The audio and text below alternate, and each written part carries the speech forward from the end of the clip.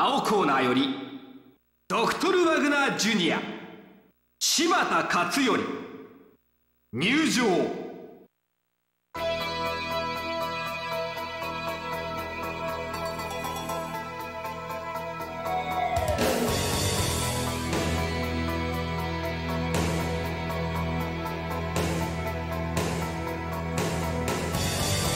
さあがっちり手を組んだこの男たち。果たしてどんな戦いを見せるのでありましょうか？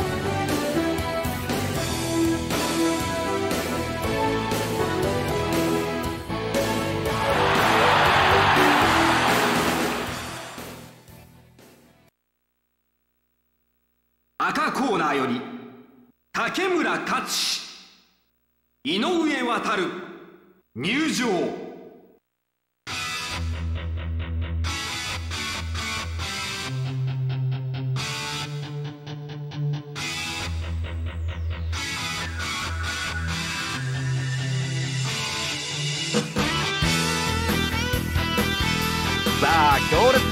が結成されました。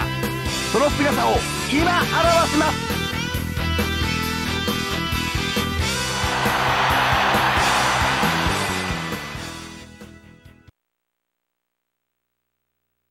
竹村。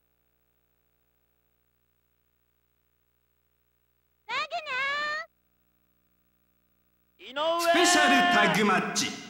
30分一本勝負を行います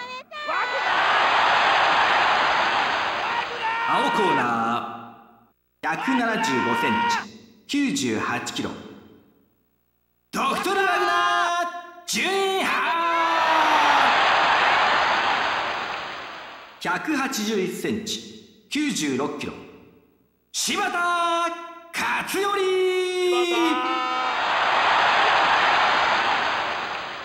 赤コーナー。178センチ。100キロ。竹村勝志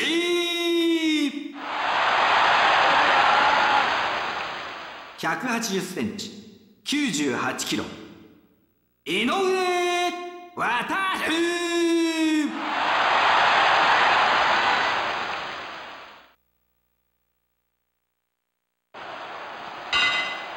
澄み切った音色が打ち鳴らされてまいりました。実況席には山崎さんをお呼びしています。さあ両選手の眼差しご覧になってどうですか？そうですね。この舞台でねプレッシャーをどうエネルギーに変えていくかその辺りが重要だと思うんですけどね。なるほどすごいプレッシャーをひしひしと感じますからね。組み合います。フロントからのヘッドロックに移行します。ハンマーを落としてまいります。さあロメロスペシャル。釣り天井です。ロープに逃れます。組みに行きます。あっとそのまま投げてまいります。アキレス腱固めに入ります。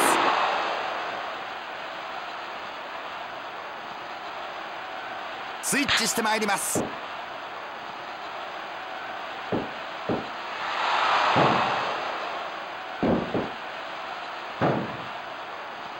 先ほどから館内のボルテージがすごいんですが戦っている時って客さんの声って聞こえるもんなんですか？いやそりゃ全部は聞こえないですけど聞こえますよ。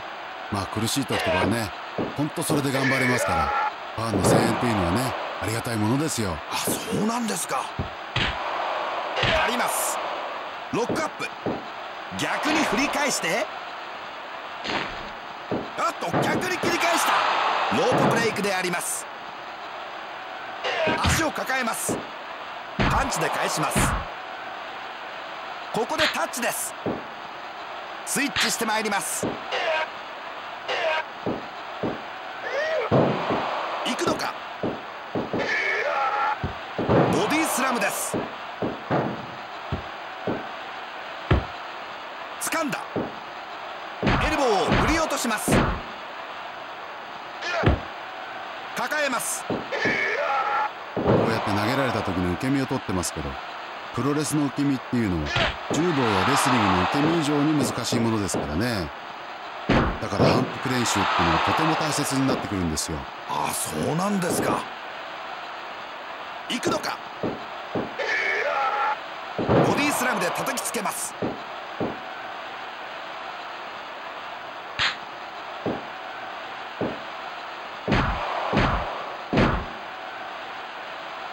ロックアップ。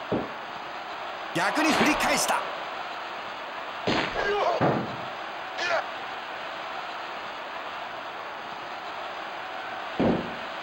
メキシカン式の締めを見せてまいります。ロープブレイクであります。ここでタッチです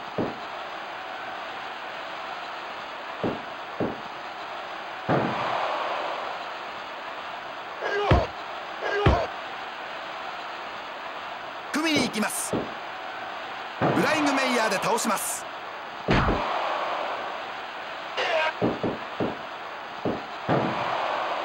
ックを打っていきます。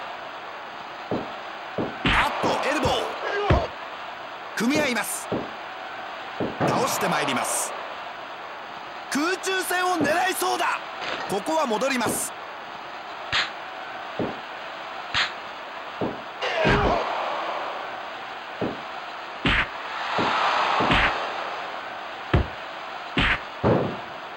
腕をフックします。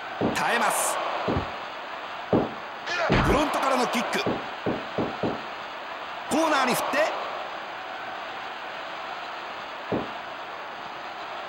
て。腕を取ります。腕を殺してまいります。行くのか。ボディスラムで投げてまいります。ストンピングです。ここでタッチです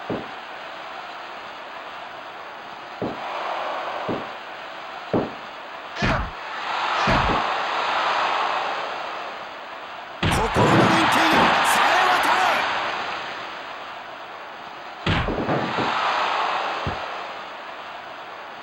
組み合います逆に振り返した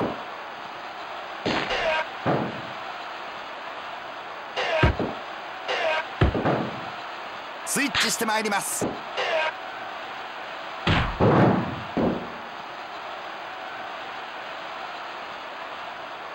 腕を捉えます。肘を打ち込んでまいります。腕を取ります。腕に小銃を絞るのでありましょうか。10分腕を捉えます。10ミニットパーリストを固めてまいりますロープに逃れます。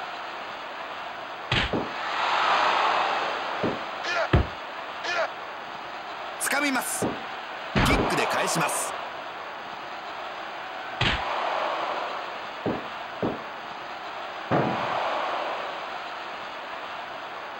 ロックアップ。ボディスラム。ストンピング。蹴りつけてまいります。ニールキック。ります。この辺りの攻撃いかがですか？いいと思いますよ。スタミナを奪うには効果的ですよね。巻き投げてまいります。蹴りを見舞ってまいります。脇固めに持ってまいります。腕を捉えますああこの辺りでちっこい展開ですね。そうですね。こういった攻めっていうのは相手からしたら非常に嫌なものですからね。そうですよね。コーナーに登る。ここは戻ります。組みに行きます。フロントのヘッドロックに取ります。パンチを打ち込んでまいります。逆にバックに回った。それにしても一瞬たりとて目が離せませんね。そうですね。両者とも調子いいんじゃないでしょうか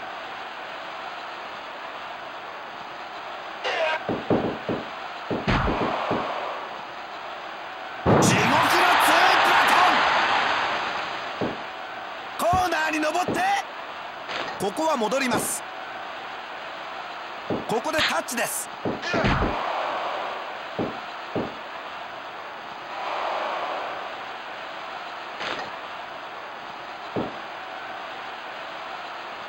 させません。この辺りスピードがありますね。跳躍力がものすごいですよ。バネがありますね。ええ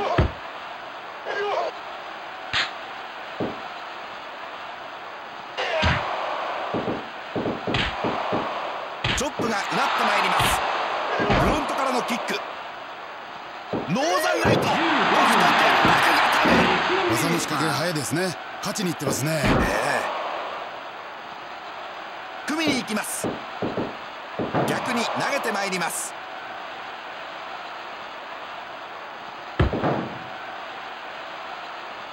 逆水平を打っていきます。腰を落とします。打たせません。外してまいります。打ち込んでまいります。ロックアップ。ロープに振って。膝にピンポイン。ト集中砲火。キックを打っていきます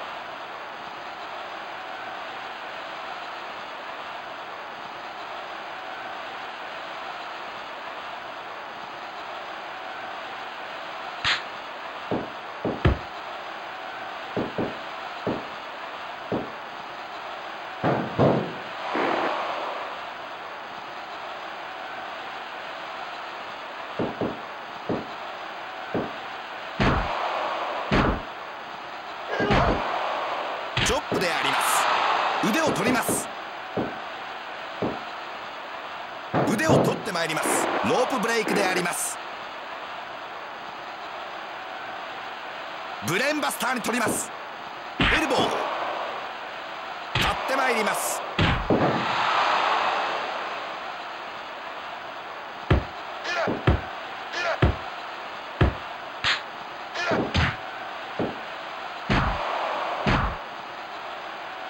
ダブルで放っていっ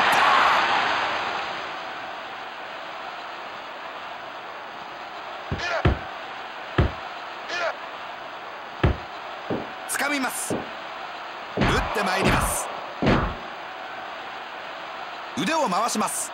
ブレーンバスターで投げ捨てます。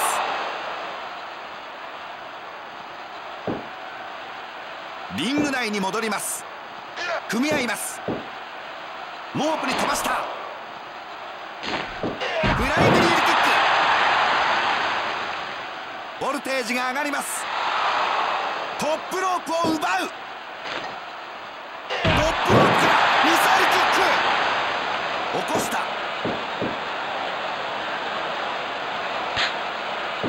20分経過20 minutes pass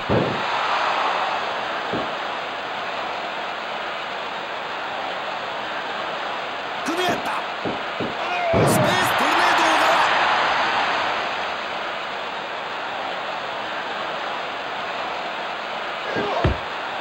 ガチェット組み合ったブルドッキングヘッドロック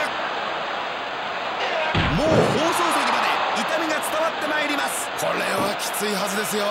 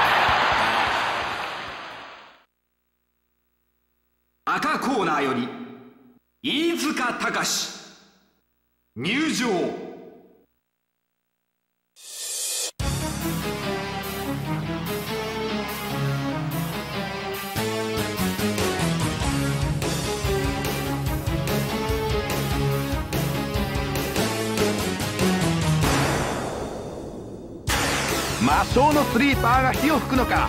さあ飯塚隆が入場であります。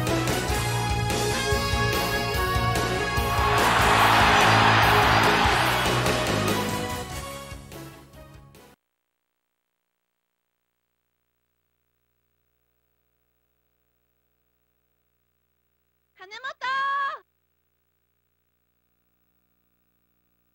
スペシャルシングルマッチ30分一本勝負を行います。青コーナー180センチ90キロ。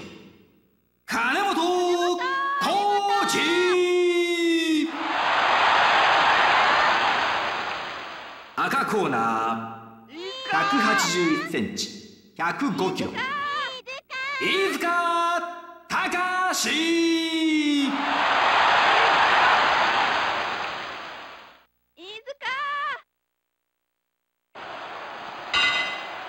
打ち鳴らせ今ゴングだ。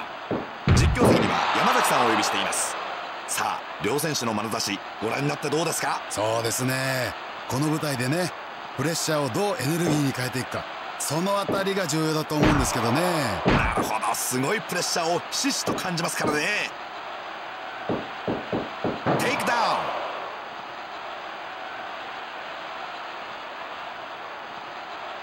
掴んだ膝を狙ってまいりますここまでの戦い振り返りご覧になっていかがでしょうか？うーんこれはまだ五分五分ですね。そうですか。さあまさに技の絵巻を見るような佇まいであります。キックを打っていきます。フロントからの締めを見せてまいります。パンチを打ち込んでまいります。乾いた音が館内に響きます。倒してまいります。選手っていうのはね試合をやってる時はアドレナリンが出てますからまあ痛いんですけどある程度は痛みって感じないんですよ。でもね試合終わってこうシャワー浴びて控室に戻ったりすると試合中は分からなかったところでも痛くなったりしますからね。あそうなんですか。ボディスラムで投げてまいります。掴みます。ストバックに突き刺さります。行くのか？右舷実行の男であります。この飯塚隆。飯塚を師と仰ぐヤングライオンたちにとってはこの男のファイトは何よりの教えであります。新日本プロレスの道場長飯塚隆が注目のリングであります。ロックアップフライングメイヤーで倒します。実況席まで鈍い音が聞こえてまいります。ロープに振って。あっと逆に切り返した。肩が上がります。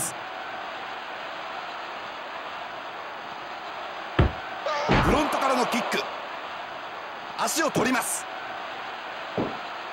足を狙ってまいります。組みに行きます。こ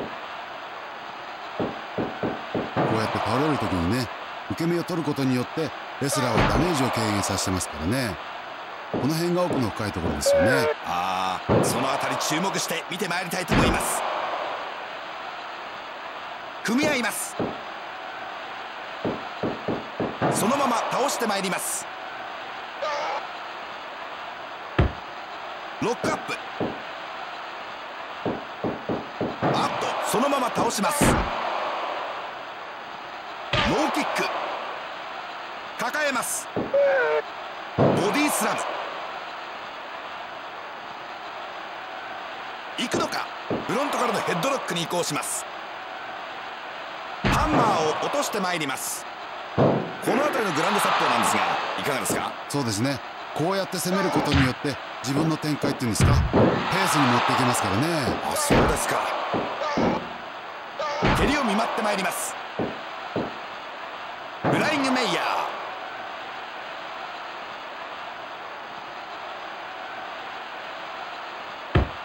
こういう技なんですが次の日ミミズバレになるんですよね。そうですね。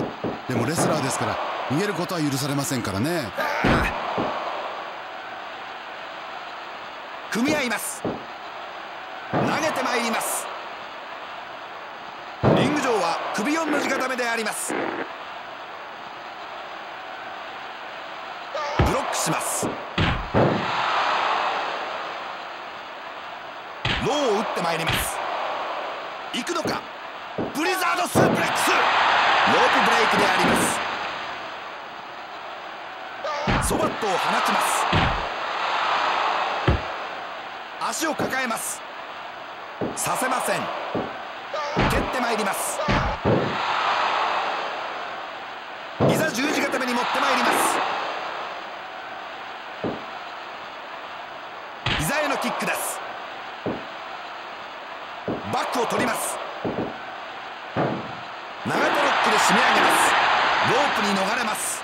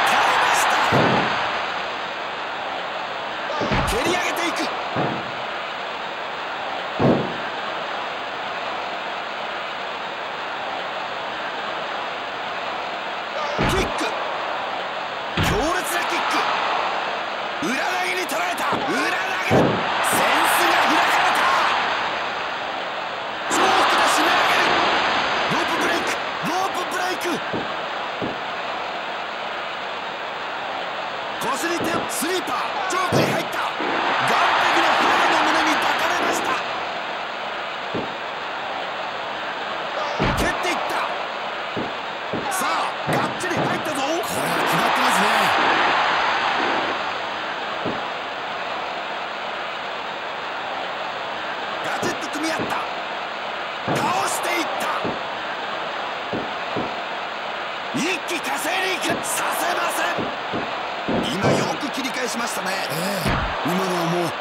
的なひらめきですよ。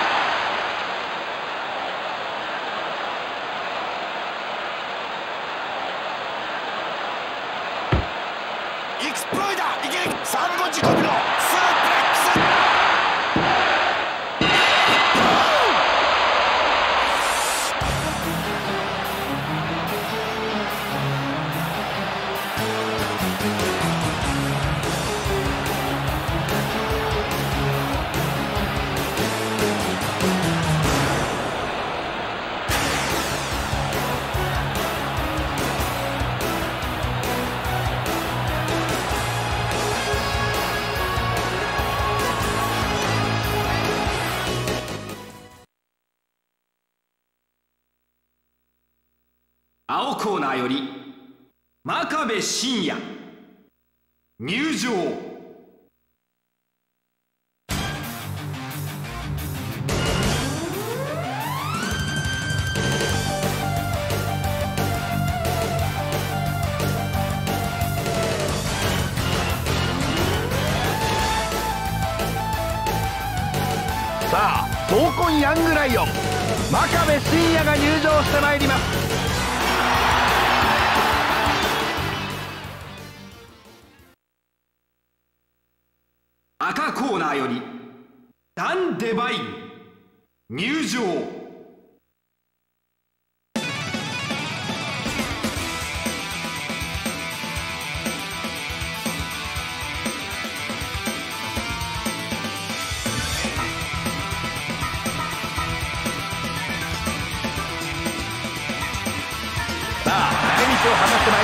男。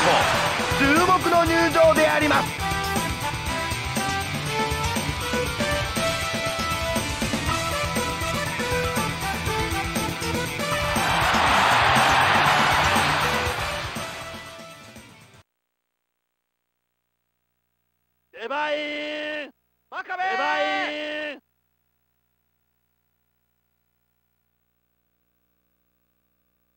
スペシャルシングルマッチ。三十分一本勝負を行います。青コーナー百八十一センチ百十キロ。真壁新ギャ赤コーナー183センチ102キロ。ダンデバヒン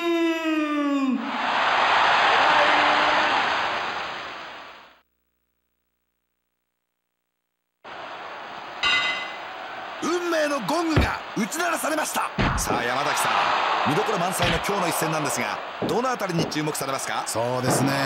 この試合はお互い負けるわけにはいかないですからね。その辺り注目じゃないですか？なるほど。まさに意地と意地の戦いといった感じですね。そうですね。フロントのヘッドロックに取ります。パンチを打ち込んでまいります。フロントに捉えます。させませんまいります。投げてまいります。ロックアップ。フロントからの締めを見せてまいります。ハンマーを落としてまいります。組みに行きます。ボディスラムです。組み合います。フライングメイヤー。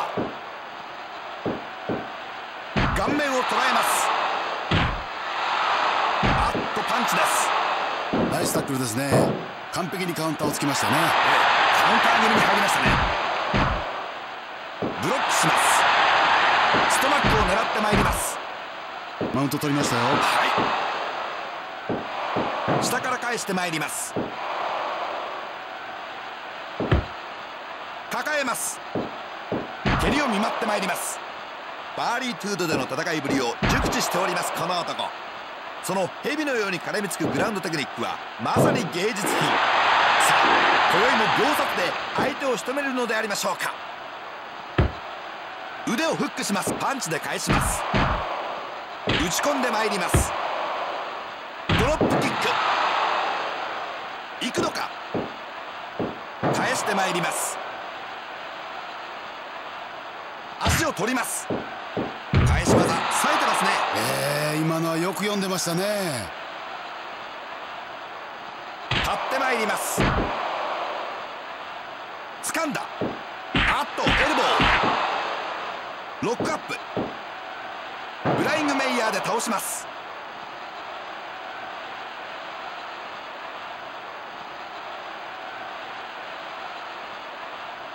組み合います。倒してまいります。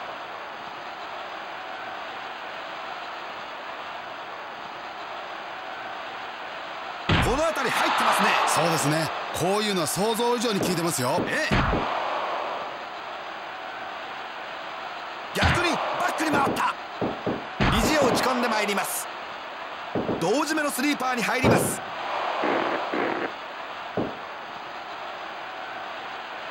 フロントからのキック。行くのか。フロントからのヘッドロックに移行します。ストバックに突き刺さりますの辺り決まり具合いかがですか？これはまだ入ってませんね。抱えます。フロントのヘッドロックに取ります。ロープブレイクであります。キック攻撃を見舞ってまいります。組みに行きます。フロントからの締めを見せてまいります。ニーリフト強烈。バックに回った。さあがっちり決まったしいですよ。組み合った。そのまま締め上げる。起こした全体重を浴びせた。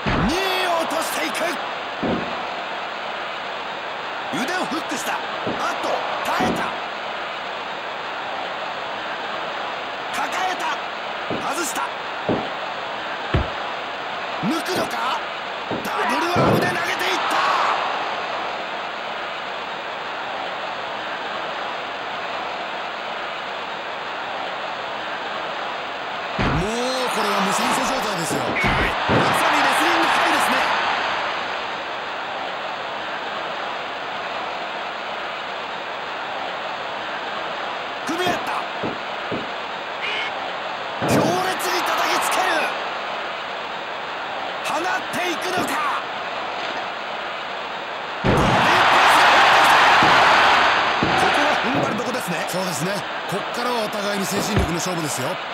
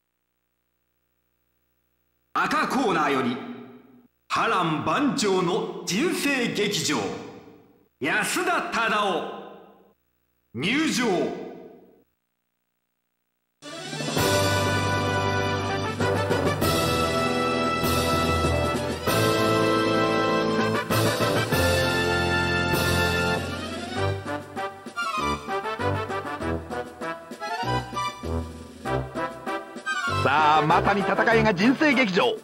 安田忠雄が大股で入ってまいります。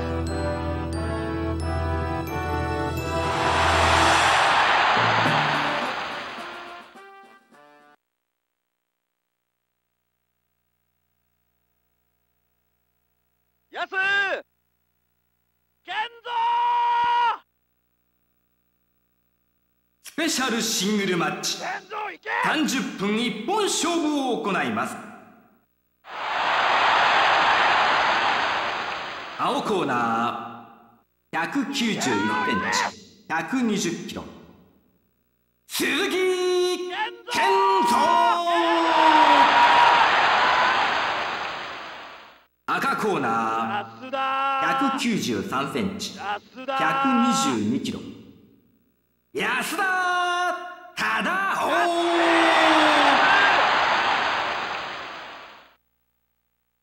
やすき沈黙の中にハイトーンの鐘の音が響き渡ってまいりました。さあ山崎さん。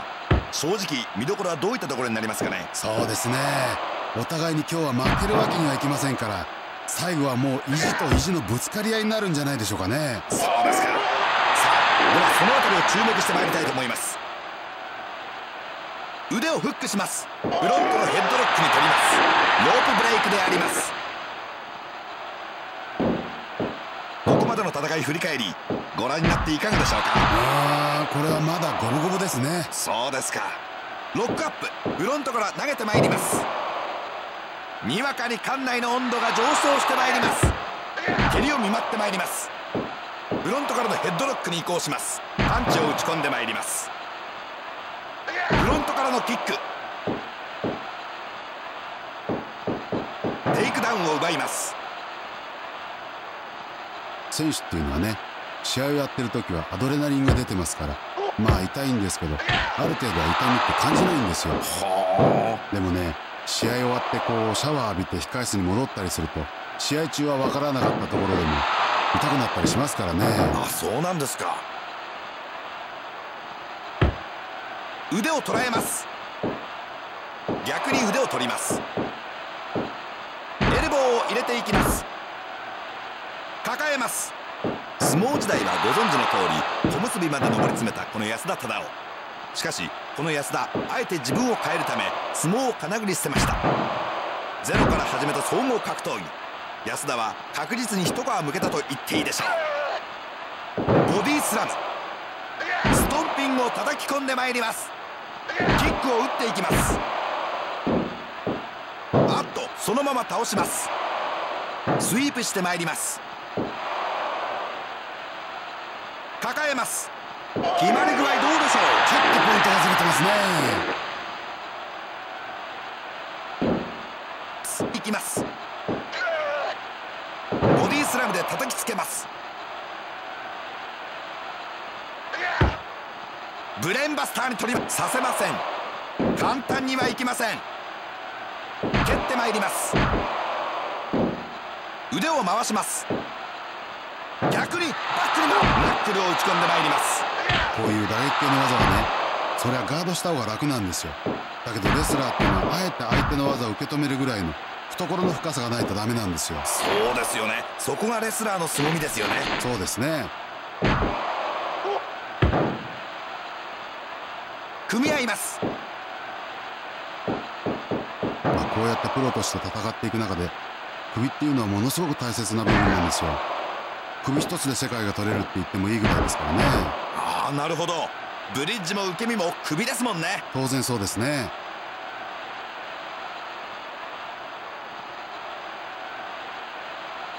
腰を落とします。2位を突き上げます。腕をフックします。抜けてまいります。パンチ攻撃です。行くのか。ダブルアームで投げ捨てます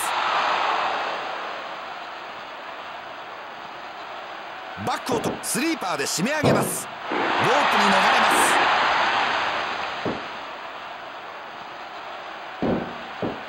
ます。テイクダウン。マウントに移行します。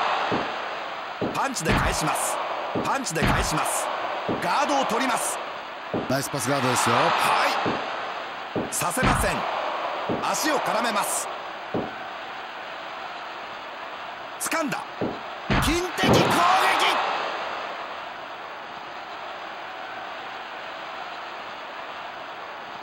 キックを打っていきます。ブレンバスターでぶん投げます。ボルテージが上がります。逆水平。タックルスピアタックル。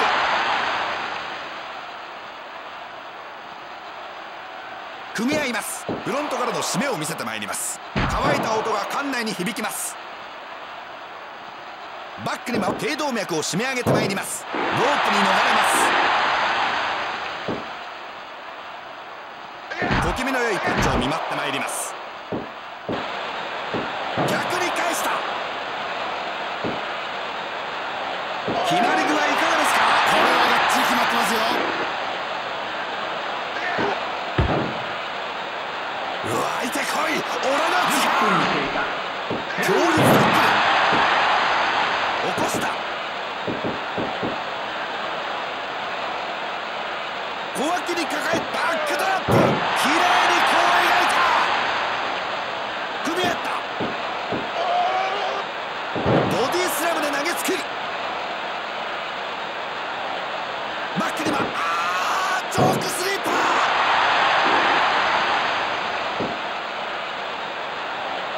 抱えたあっとフロントからのチョークスリーパーか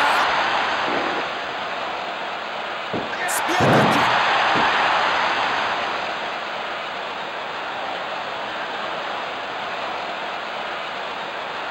ガチッと組み合った対角線に飛ばした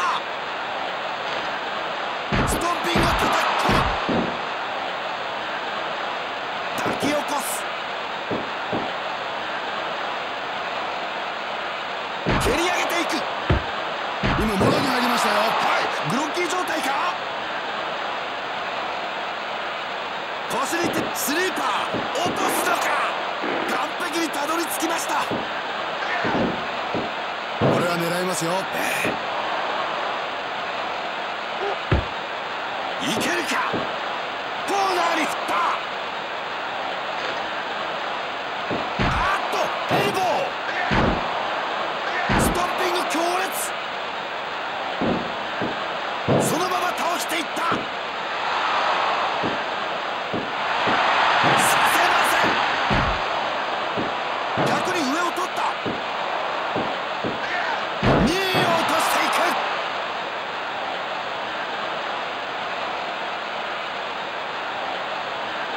腕をフックしたタイガードライバー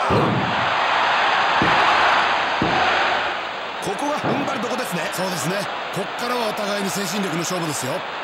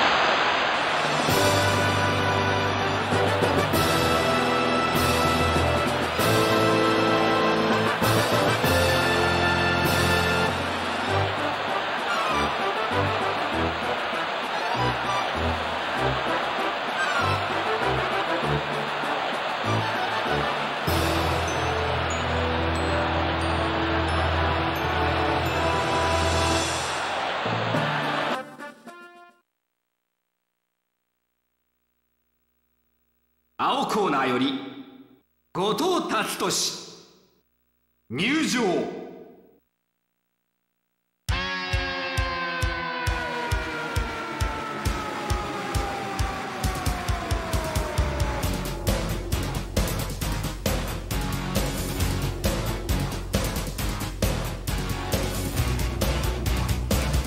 さあ人生バックドロップ。後藤達俊が入場してまいります。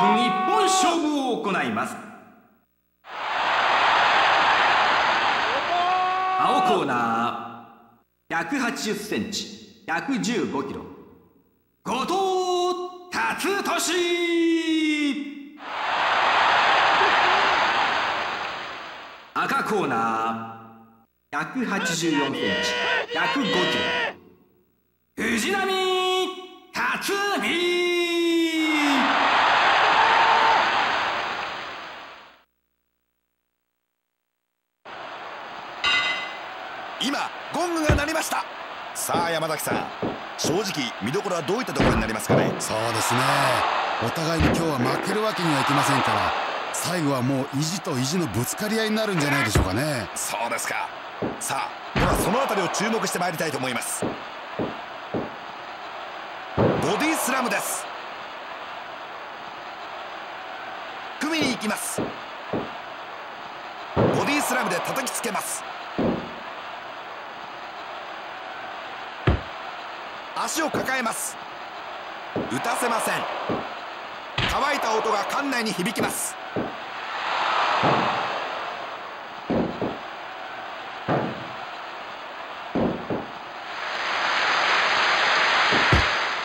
組み合います。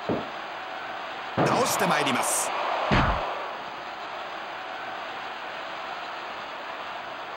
バックを取りスリーパーで締め上げます。行くのか？こうやって後ろに倒れる時の受け身っていうのはレスラーの生命線なんですよ。受け身のうまさっていうのはいわばレスラーの力量ですからね。なるほどそうですよね。ロックアップアップを返します組みに行きます投げてまいります。スリーパーホールドに入ります。新日本プロレス現社長でありますこの藤波辰巳ですが現在のこの男の最も果たさなければならないのは日々の社長業もさることながら今までの自分の経験を後輩レスラーたちに伝える飛龍伝承でありましょうか。掴みます。頭突きを打ち込みます。ロックアップ。この辺りの関節攻撃いかがです？うーんちょっと浅いですかね。そうですか。掴んだ。ヘッドバット行くのか。フロントからのヘッドロックに移行します。ハンマーを振り下ろします。組み合います。逆に振り返して。カウンターであります。引き起こします腕を回します。バックに回った。ドロップキックを見舞ってまいります。ボルテージが上がります。ロックアップ。ボディスラムで投げてまいります。勝ってまいります。抱えます。ブレンバスタ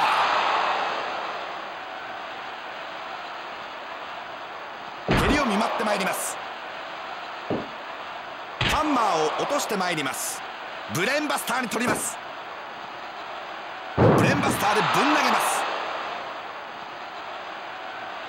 頸動脈を締め上げてまいります。ロープに逃れます。腕をフックします。ブレインバスターで叩きつけます。鍵穴に決めてまいります。キーロック。ロープブレイクであります。腕を捉えます。こういう執着心よろしくですね。痛めつけられます。と苦しいですよね。まあそうですけど勝負ですからね。泣き言言ってられませんよ。そうですよね。パンチを打ち込んでまいります。打ち込んでまいります。フライングメイヤー。バックからスリーパーに入ります。ロープに逃れますドロップキックであります。組みに行きます。ハンマーを振り下ろします。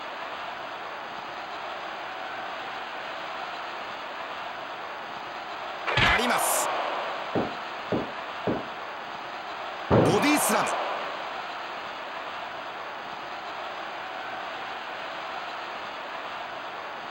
乾いた音が館内に響きますボディスラムですストンピングです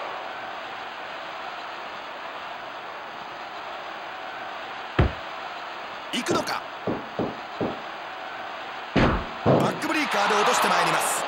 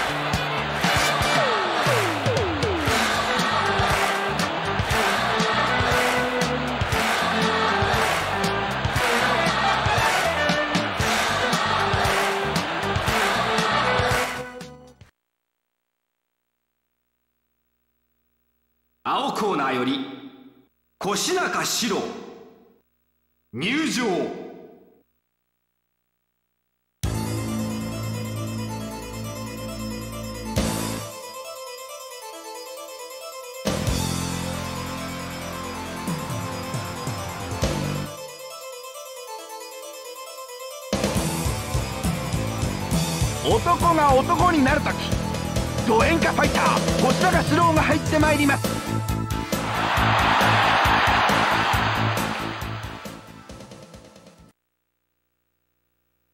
赤コーナーより平田淳二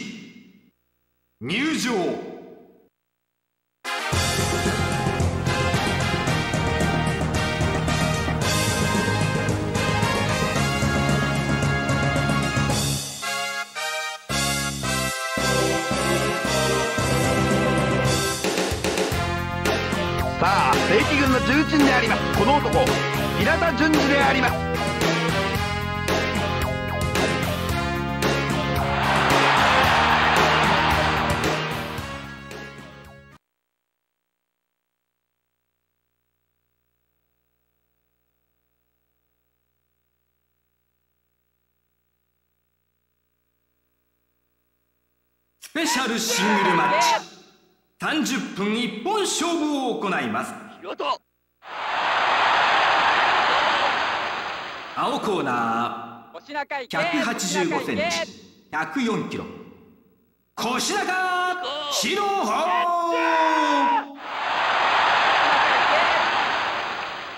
赤コーナー。183センチ。115キロ。平田純喜。腰中沈黙の中にハイトーンの鐘の音が響き渡ってまいりました。さあ山崎さん見どころ満載の今日の一戦なんですがどのあたりに注目されますか？そうですね。この試合はお互い負けるわけにはいかないですからね。そのあたり注目じゃないですか？なるほど。まさに意地と意地の戦いといった感じですね。そうですね。エルボー抱えます。ハンマーを振り下ろします。腕をフックします。フロントからのキック。蹴ってまいります。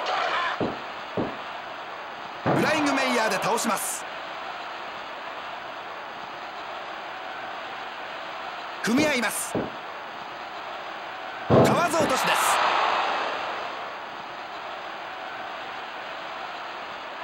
足を取ります。パンチで返します。抱えます。キックを打っていきます。僕もそうだったんですけどプロっていうのは怪我に対する恐怖感がいつもつきまとうわけですよね。まあ僕なんかの場合は試合前に塩をまいたりとかそういうことをして精神面を吹っ切ったりしてましたよ。あなるほど。そうだったんですか。ブレーンバスターに取ります。ストマックを狙ってまいりますこういう打撃系の技はねそれはガードした方が楽なんですよ。だけどレスラーっていうのはあえて相手の技を受け止めるぐらいの懐の深さがないとダメなんですよ。そうですよね。そこがレスラーの凄みですよね。そうですね。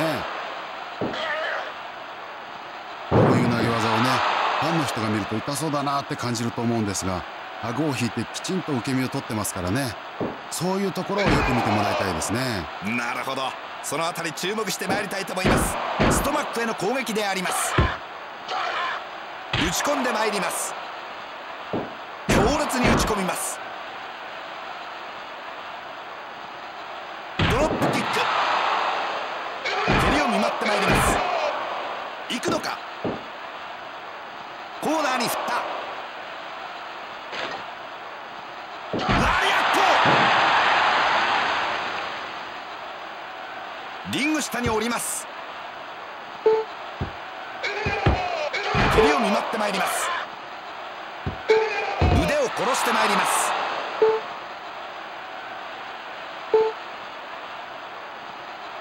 組みに行きます。フライングメイヤ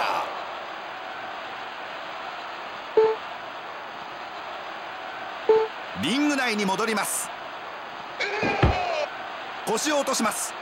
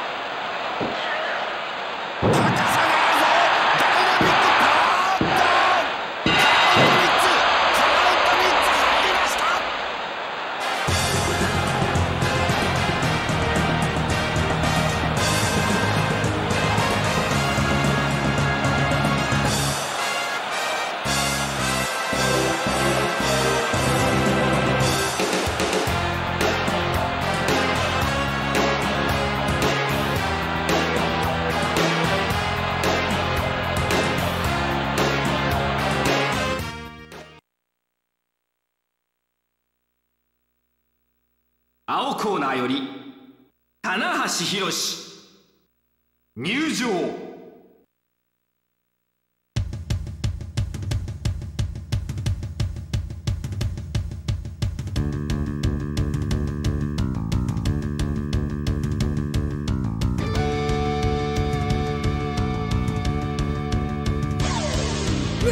さあビルドアップされたフェロモンボディ。棚橋宏が入場してまいりました。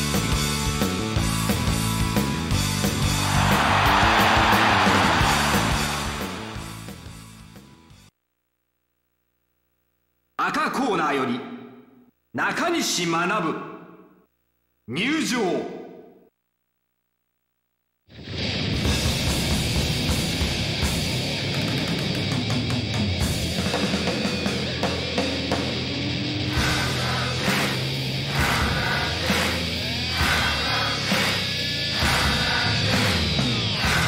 さあマッスルヘラクレス。野人中西学が入ってまいりました。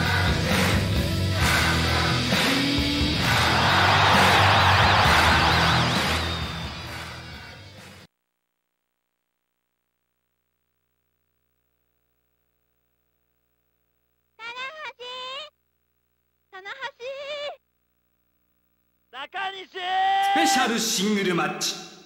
30分一本勝負を行います。青コーナー。181センチ。107キロ。棚橋宏赤コーナー。186センチ。120キロ。中西。学木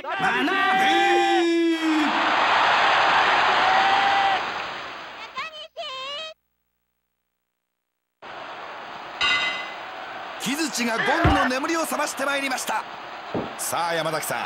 正直見どころはどういったところになりますかね？そうですね。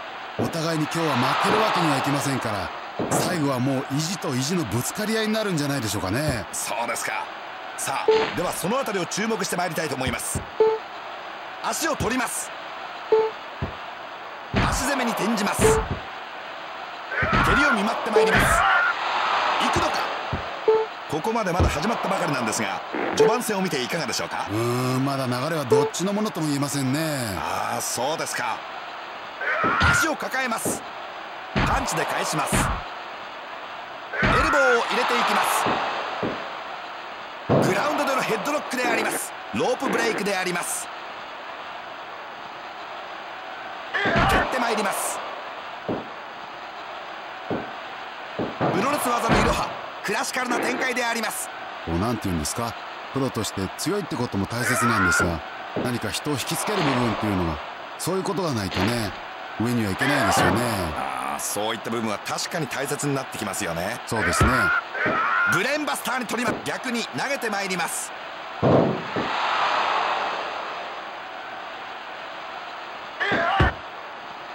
ます。フロントからのキック。カナディアンハイジャック。そしてアルゼンチン世界三大バックブリーカーの使い手。こういった失われた必殺技を現代に蘇らせた男であります。リング上の中西学今宵はどのバックブリーカーで相手を担ぎ上げるのでありましょうか。組み合います。コーナーに振った汗がミストとなって飛び散ります。ロックアップ。ロープに振って。走り込んでのエルボ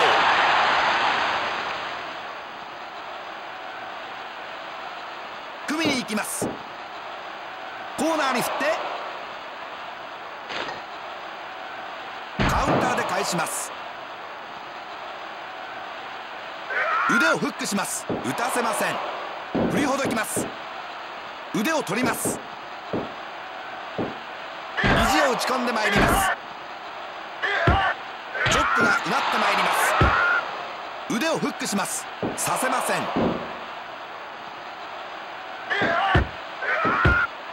足を取ります。ねちっこい展開に移行してまいります。組み組みに行きます。返してまいります。買ってまいります。エルボー。行くのか？こういった投げ技っていうのはね一歩間違えば大変なことになってしまいますから選手たちは受け身のタイミングっていうものを感覚的に覚えてるんですよ。なるほど腕を回します。ブレンバスターでぶん投げます。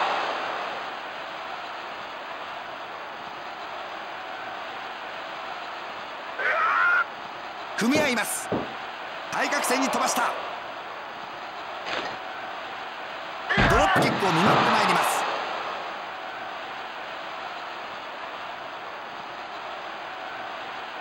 ロックアップ。さあ粘着質激しい。このサンミッションいかがですか？そうですね。スタミナを奪うにはいいんですがこれで決めるのは難しいんじゃないでしょうかね。あそうですか。乾いた音が館内に響きます。行くのか？コーナーに振った。カウンターで切り返してまいります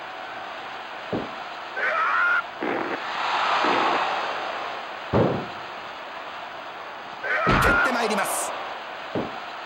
耐えます。組みに行きます。水車の要領で落としてまいります。ボルテージが上がります。空中戦を狙いそうだ。ここは戻ります。あっとエルボー。ロックアップ。フロントのヘッドロックに取ります。ハンマーを落としてまいります。抱えます。フロントから投げていった。カバーの体勢。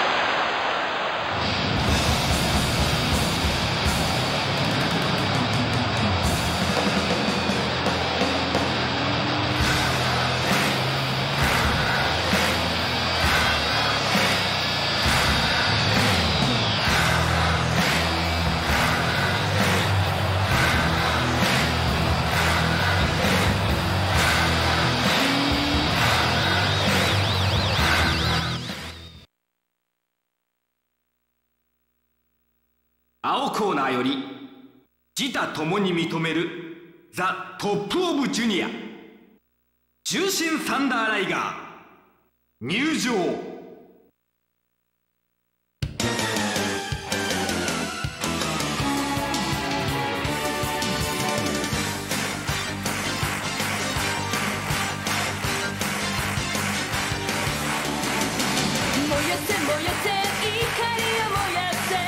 ジュニアヘビー最強の男重心サンダーライガーが入場してまいります。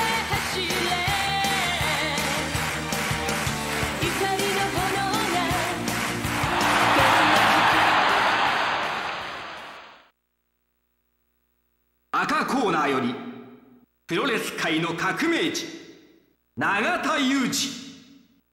入場。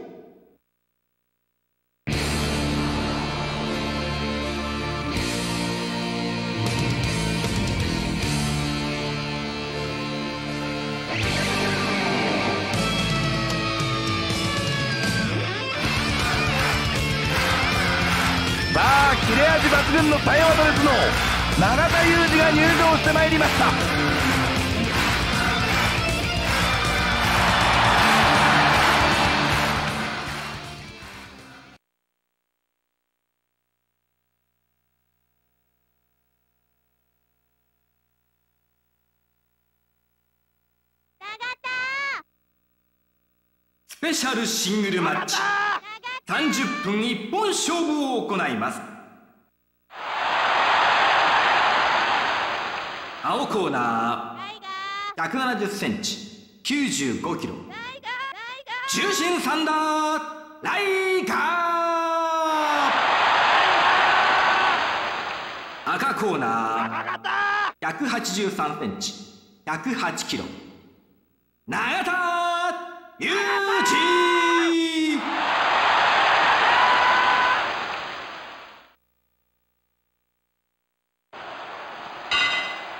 木槌がゴングの眠りを覚ましてまいりました。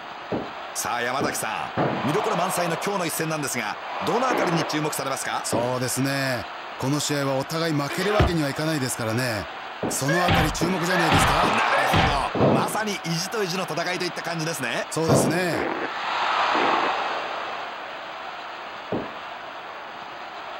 蹴りを見舞ってまいります。逆に振り返した。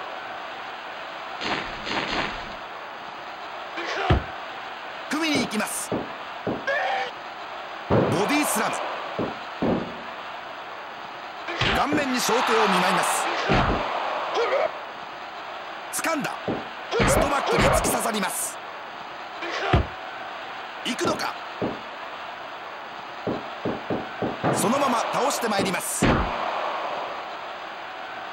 抱えます。フロントスープレックス。まあレスラーは常に怪我との戦いだと思うんですけどプロとして怪我というのは失格ですからね。怪我をして穴を開けてしまえばファンの期待を裏切ることになりますからね。そうですね。確かに怪我というのはしょうがない部分ですけどプロのレスラーですからね。その通りですね。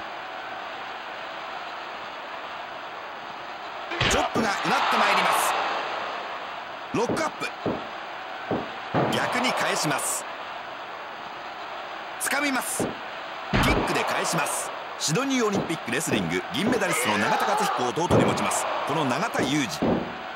本人もアマチュア時代には大学選手権などで優勝経験を持つ強豪選手でありましたがアマラス経験を生かした切れ味抜群のスープレックスは今宵も炸裂するのでありましょうか。掴みます。足を殺してまいりますフロントからのキック。掴んだ。乾いた音が館内に響きます。抱えます。打たせません。キックを打っていきます。掴みます。強烈なショート。腕をフックします。首を締め上げてまいります。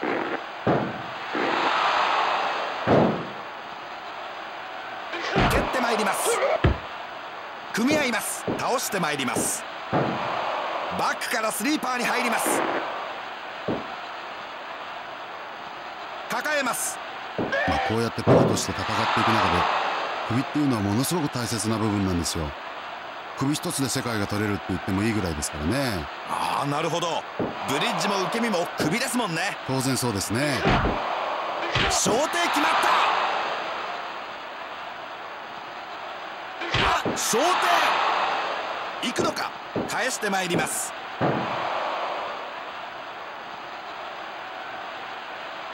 バックに回ります。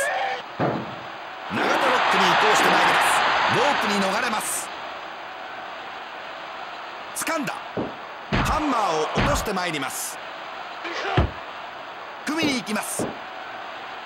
あっとそのまま倒します。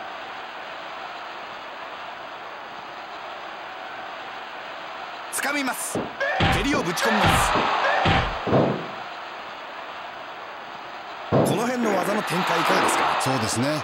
こういった技はボディーブローのように徐々に効いてきますからね。いい攻めだと思いますよ。なるほど。行くのか？ロープに飛ばした。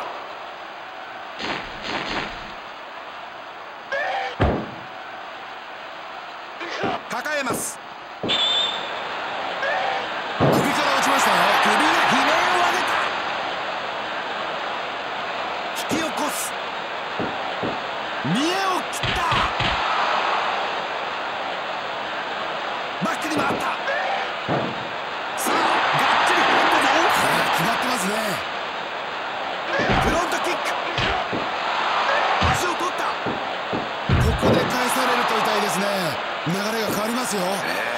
勝負のポイントですね。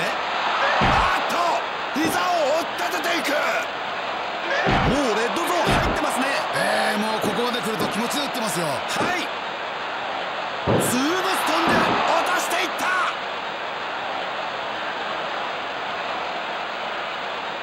腕をフックした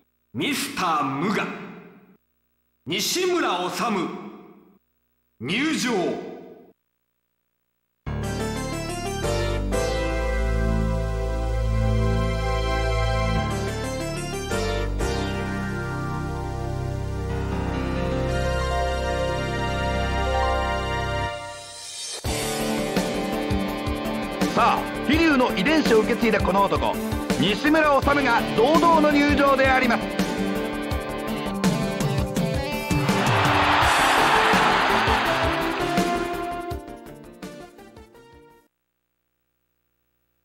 赤コーナーより己の道を突き進め佐々木健介。入場。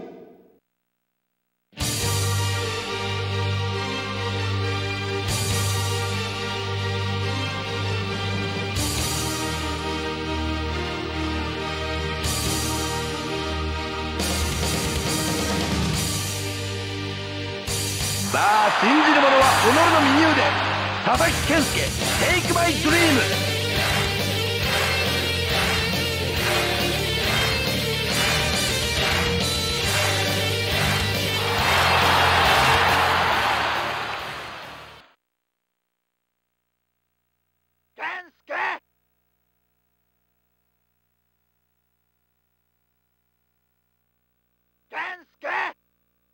スペシャルシングルマッチ。三十分一本勝負を行います。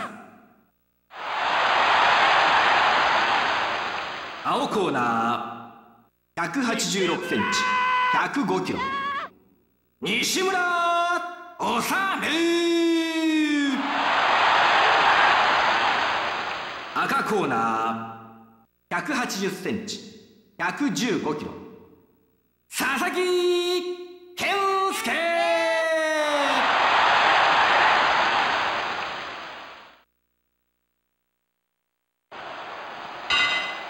打ち鳴らせ今ゴングだ。さあ放送席解説は山崎さんにお越しいただいております。一言両者を見ていただいて感想をお願いいたします。そうですね。両選手とも肌の艶がいいですよね。いい練習をしてきたんじゃないですか？ああそうですか。レッグロックに捉えます。こめかみのあたりを狙ってまいります。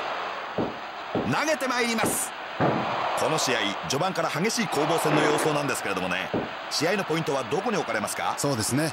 両者とも今日は調子が良さそうですからね。まあスタミナの問題は全くないですね。そうですか。足を固めてまいります。ロープブレイクであります。掴みます。ストマックへの攻撃であります。掴んだ。パンチで返します僕もそうだったんですけどプロっていうのは怪我に対する恐怖感がいつもつきまとうわけですよね。まあ僕なんかの場合は試合前に塩をまいたりとかそういうことをして精神面を吹っ切ったりしてましたよ。ああなるほど。そうだったんですか。ロープに逃れま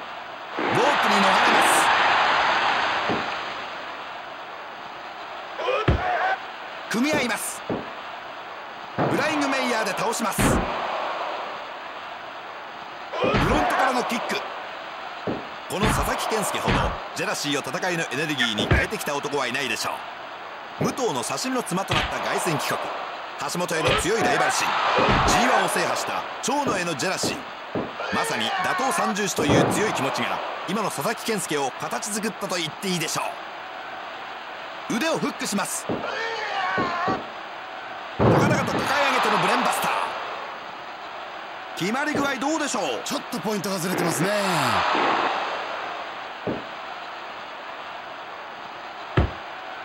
みに行きます。させません。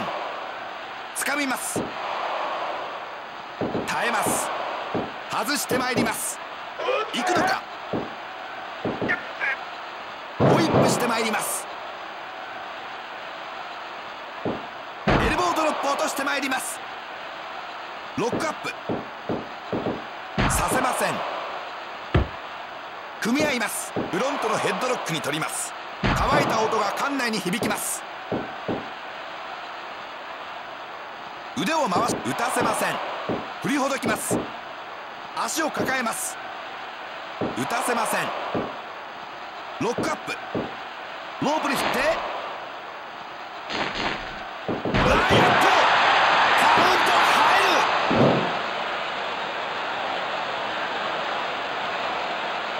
足を抱えた足を殺していった重いですね一発がええ組み合った逆一本立たせていくラリアップ投げ倒しそのまま体固め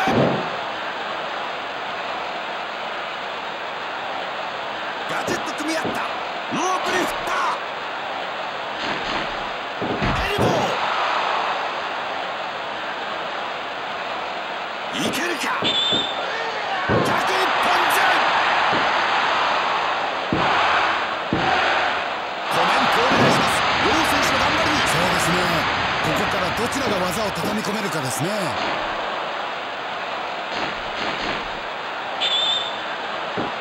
決まり具合いか